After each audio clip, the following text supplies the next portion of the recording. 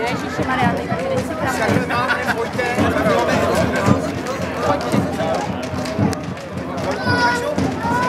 možná nastupují, přivádí jako hlavní rozhodčí Havlín Marek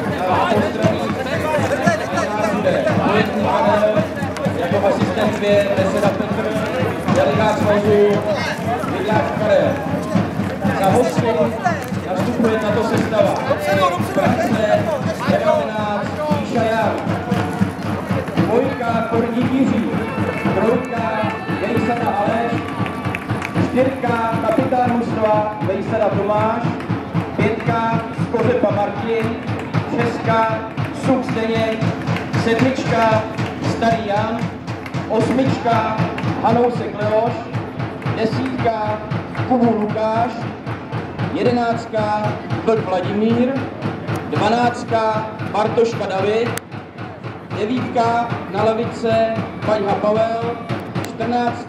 Tržil Zbyšek, 15. Hruba Martin, 16.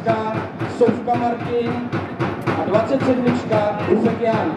Vedoucí mužstva Vejsada Miroslav, trenér Starý Jan, asistent trenéra Zajíček Jaroslav, Maser Kadlec Tomáš. Domácí nastupují této sestavě. 31 brankář Dvořák Marek, 4 Ríša